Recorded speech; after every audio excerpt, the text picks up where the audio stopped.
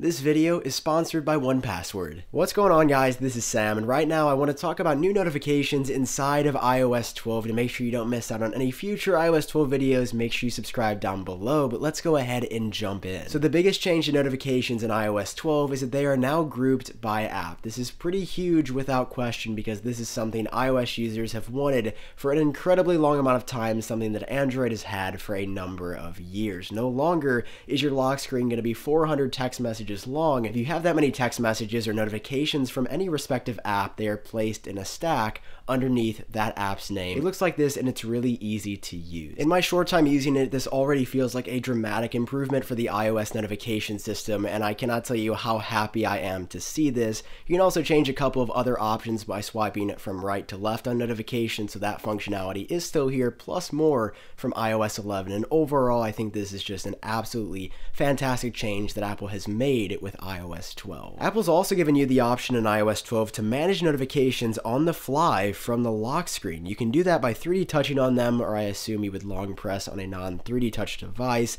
And it'll say the app name right here. For example, this says Facebook Manage Notifications, and it says Deliver Quietly, which would just deliver it to a notification badge on the app icon and the notification center, but would hide it, I believe, for good from the lock screen, or at least for a decent amount of time. Or you can turn them off entirely, which would be pretty cool. You couldn't do that on the fly before, or just go to the settings for notifications from that app, which is really great. Before you would have to do all this from the settings app, you couldn't change anything from a notification itself, so there's a lot of expanded functionality here that we just didn't see in iOS 11. Now tying directly into these new notification features, we have expanded do not disturb functionality, and some of this stuff is incredibly cool. You can now do not disturb temporarily for an hour until this evening, until you leave a certain location or until the event is over. I guess if you have an event synced with your calendar, the proactive Siri features in iOS 12 appear to be able to read your calendar and then suggest that you would want to do not disturb until an event is over. And that's pretty cool because in the past you'd have to manually enable do not disturb or only set it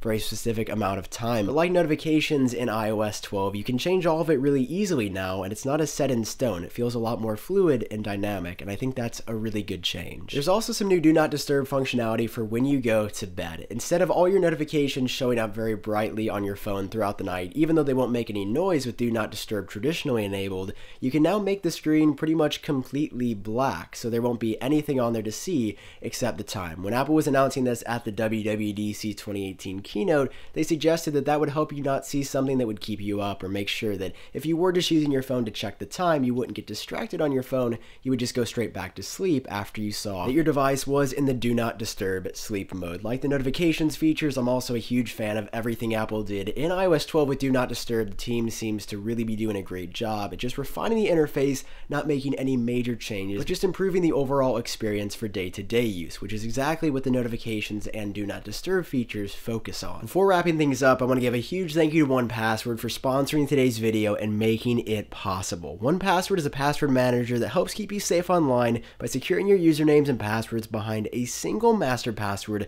that only you know. I use it every single day. I love it, and I know you'll love it as well. You can get three months of 1Password for free by signing up at onepassword.com slash WWDC18 and start being safer online today. As always, I would love to hear your thoughts about the new notification and do not disturb features down below in the comment section. Will you be using any or all of these, and are you excited for iOS 12 in general? If you want to see more videos on iOS 12, make sure you hit subscribe down below so you don't miss out on those in the future, and make sure to hit that like button if you enjoyed this video or if you learned something new. If you want to help support the channel, you can head over to shop.iupdateos.com and buy a shirt there. That would be absolutely incredible. For now, I've been Sam. I hope all of you are doing great, and I'll talk to you in my next video.